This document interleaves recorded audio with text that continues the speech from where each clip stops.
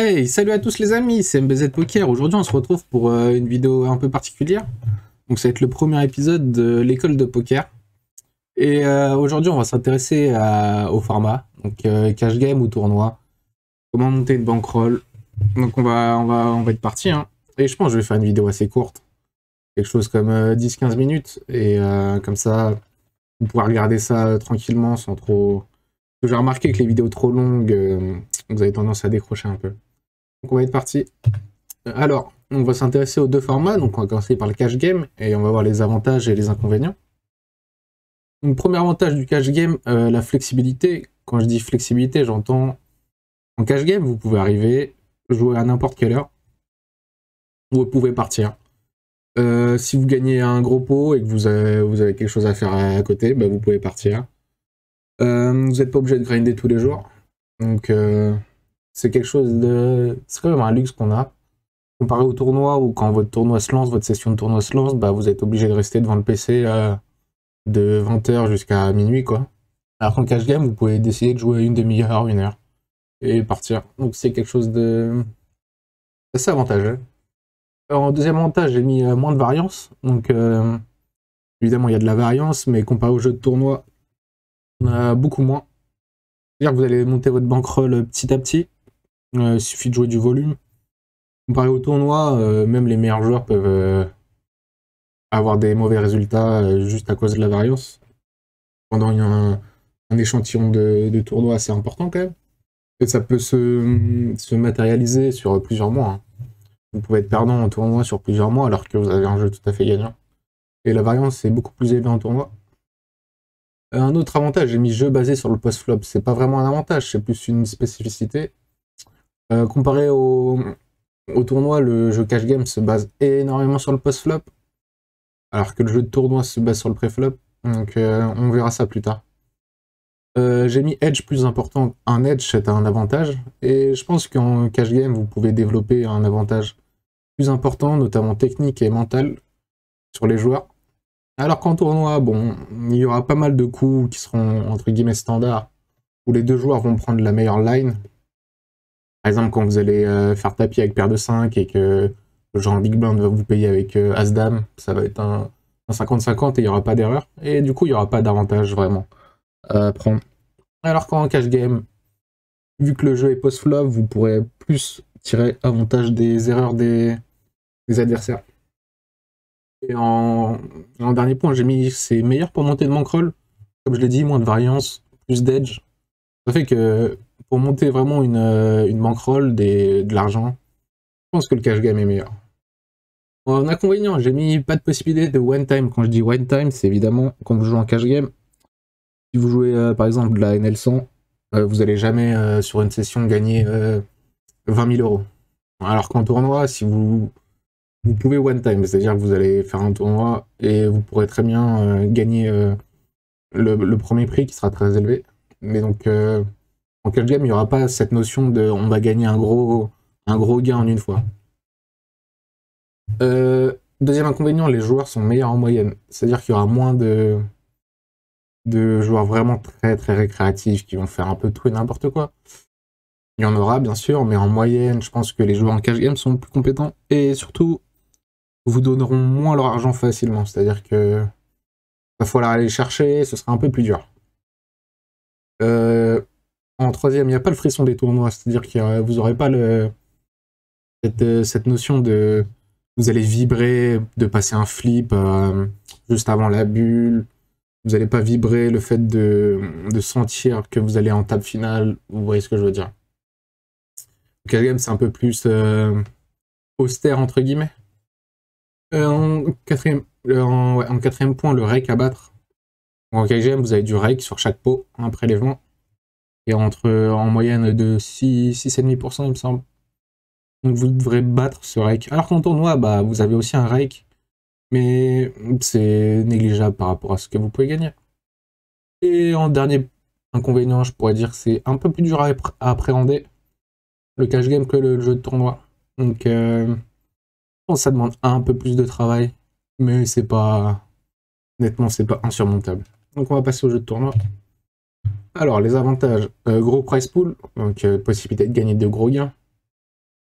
plus de mauvais joueurs, je l'ai déjà dit, qu'en cash game. Euh, c'est un jeu basé sur le pré-flop principalement. Hein. Si vous maîtrisez bien le jeu pré-flop en tournoi, vous avez déjà quand même une grosse partie du boulot. Bien sûr, il y a d'autres notions comme l'ICM, comme gérer son stack, etc. Mais globalement, si vous maîtrisez le jeu pré-flop, vous avez déjà fait une grosse partie du travail. Et possibilité de one-shot, comme je l'ai dit, hein, possibilité de, pour n'importe quel joueur de gagner un gros gain, euh, juste parce que vous avez de la chance, vous avez bien joué, etc. Toutes les planètes étaient alignées. Vous avez, comme je l'ai dit, l'adrénaline hein, de, pouvoir euh, sentir que vous allez gagner un gros tournoi, etc. Que vous n'avez pas en cash game. Et ouais, rien n'équivaut à gagner un MTT, évidemment. Donc, euh, c'est souvent la, métaphore, la comparaison qui est faite. C'est le, le cash game, c'est un marathon, et le tournoi, c'est plus de la boxe. Donc un marathon, ça va être euh, quelque chose sur le long terme, que vous allez construire petit à petit, alors que le tournoi, ça va plus être euh, en mode chaos, on va dire. Où vous pouvez être chaos direct ou... Enfin, c'est assez condensé, quoi, on va dire. Et les inconvénients, variance très très élevée en tournoi. Et comme je l'ai dit, hein, il n'est pas rare de faire... ça dépend des limites mais, et, de, votre avantage, mais vous pouvez faire plusieurs mois sans, gain. Euh, c'est pas, pas de flexibilité, comme je l'ai dit, hein. quand vous faites votre session de tournoi, votre tournoi il est à 20h, vous, allez être là de 20h jusqu'à minuit, 1h, 2h, et vous ne pourrez pas partir. Et souvent, il y a les tournois, la journée, c'est pas... ça tourne pas vraiment. Euh, les revenus sont pas réguliers. Comparé au cash game, où vous allez construire votre bankroll petit à petit. En tournoi, les revenus sont... Vous allez peut-être gagner, euh, je sais pas moi, 200 euros, vous allez faire euh, un mois avec euh, une perte de 300 euros. Enfin, ça va pas être très très régulier. Vous allez être tributaire de, la variance à court terme et de vos gains, etc. Et par exemple, si vous, vous avez de la réussite sur un tournoi à 2 euros et que vous n'avez pas de réussite sur tous vos tournois à 5 euros, bah, ça va impacter vos revenus évidemment. Comme je l'ai dit, l'edge est moins important à mon, avis. Le jeu post-flop est limité, il n'est pas rare qu'en tournoi, comme vous avez, les, tailles de tapis sont plus faibles, il n'est pas rare en tournoi de tout voir partir euh, flop ou turn et d'être très très euh, short stack. Pour moi, le jeu post-flop est beaucoup plus limité. Et enfin, j'ai mixé, donc du coup, pas le mieux pour monter une bankroll. Et dernier point que je n'ai pas mis sur les slides, euh, je pense que la transition est plus simple du cash game en tournoi, c'est-à-dire qu'un bon joueur de cash game va avoir plus de facilité à passer en tournoi plutôt que l'inverse. Donc, euh, avec tous ces points dits, je pense que je peux vous conseiller, et puis même je prêche pour ma paroisse, euh, de vous tourner vers le cash game. Clairement, hein, pour monter de bankroll, je pense que c'est très très profitable. Et donc, on va voir la suite. Euh, introduction au format cash game. Donc, ça, c'est les points principaux que, que vous devez savoir pour, pour vous lancer en cash game, tout simplement. Donc le premier point, c'est que les jetons représentent votre argent. Si vous avez 10 euros de jetons, ça équivaut à vos 10 euros sur votre bankroll. Contrairement au tournoi où vous payez un droit d'entrée pour avoir accès à un certain nombre de jetons, là les jetons représentent votre argent. Quand on n'a plus de jetons, on peut recaver très très important. En tournoi, quand vous n'avez plus de jetons, à moins que ce soit des tournois rebuy, vous êtes sorti du tournoi. Alors qu'en cash game, euh, tant que vous avez de l'argent, vous pouvez rester à la table. C'est quelque chose de très très important vous n'avez pas de notion de ouais, je dois garder mon stack. Il euh, n'y a pas de ça. Si vous pensez que votre move est EV, vous allez mettre tous vos jetons au milieu et en sachant que vous pouvez recaver. La profondeur est très élevée comparé au jeu de tournoi. Donc 100 big blind minimum, quand je dis minimum en, en, en capital, c'est minimum. C'est-à-dire que si vous voulez être un bon joueur de cash game un joueur régulier, vous allez vouloir caver toujours à 100 big blind, au max que vous pouvez caver. Et dès que vous voyez un joueur qui n'est pas KV max, vous pouvez direct le catégoriser comme un joueur récréatif.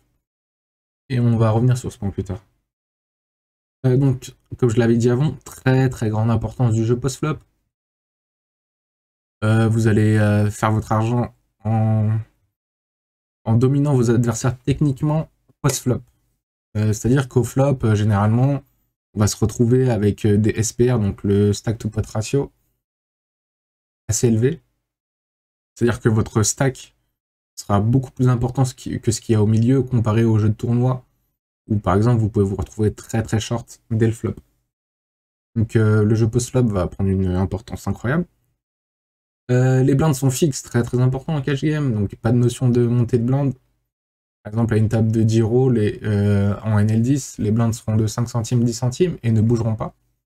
Donc euh, j'ai mis pas plus d'incitation à voler les blindes comme en MTT. Sachant qu'il n'y a pas d'anté aussi. Je ne l'ai pas mis, mais il n'y a pas d'anté.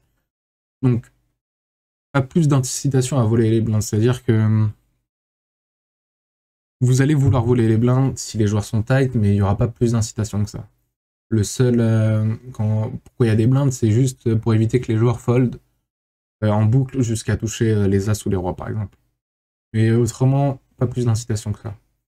Et donc en, résumé, c'est un jeu de patience, de technique et de régularité. Et si vous avez ces trois points, je pense que vous pouvez réussir euh, en KGM. Alors, on continue. Les mains perdent tout en valeur. Quand je dis ça, c'est que, par exemple, top pair est moins forte en cash qu'en MTT. Et ce que je veux dire par là, c'est que quand vous avez une top pair en cash game, vous n'allez pas vouloir aller mettre tous vos jetons milieu, à part dans certaines situations, bien sûr, mais ça pour dire que toutes les mains, top pair, double pair, perdent toutes de la valeur. Parce qu'en MTT, quand vous avez top pair au flop, il vous reste pas beaucoup derrière. Vous allez souvent vouloir stack off, alors qu'en cash game, ça va être bien différent. Et donc les mains perdent tout en valeur en cash game. Et j'en viens, au point qui est très très important à mes yeux. Euh, quand vous avez une petite main, vous voulez créer des petits pots en cash game. Et quand vous avez une grosse main, vous voulez faire des gros pots.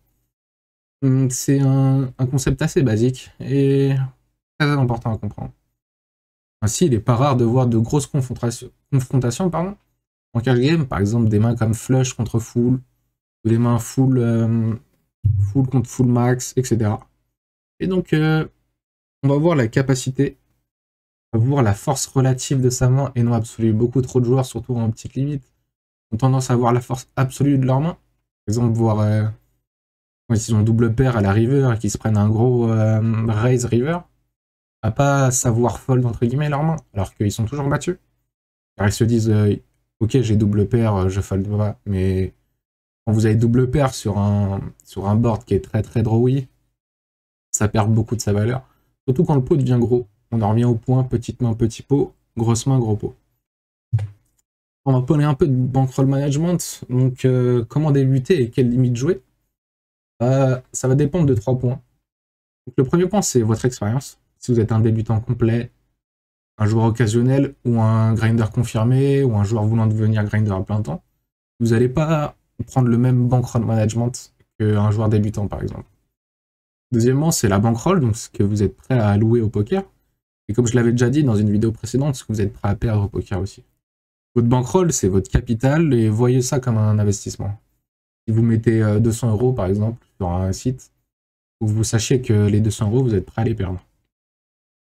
Et en troisième point, j'ai mis votre aversion au risque. C'est-à-dire que certaines personnes vont être beaucoup plus averses au risque, c'est-à-dire qu'ils vont avoir plus peur de perdre que de... En fait, le fait de perdre va leur faire plus mal que la possibilité de gagner, on va dire. Et donc, il va falloir mesurer votre aversion au risque. Et donc, euh, on va prendre deux profils assez différents. On va prendre un débutant complet, qui a une petite bankroll, et qui a une grosse aversion au risque. Alors, dans ce cas-là, je lui conseille de jouer vraiment les petites limites, la NL2, la plus petite limite, et de monter sa bankroll très rapidement. Alors que si je prends un, grinder confirmé, qui a une bankroll euh, OK, une faible aversion au risque, il va pouvoir prendre un bankroll management plus agressif, c'est-à-dire jouer moins de cave de sa limite. Alors ce que je conseille en NL2, c'est la limite la plus simple et la plus basse. Il y a plus d'avantages à tirer. Je vous conseille un bankroll management plus agressif.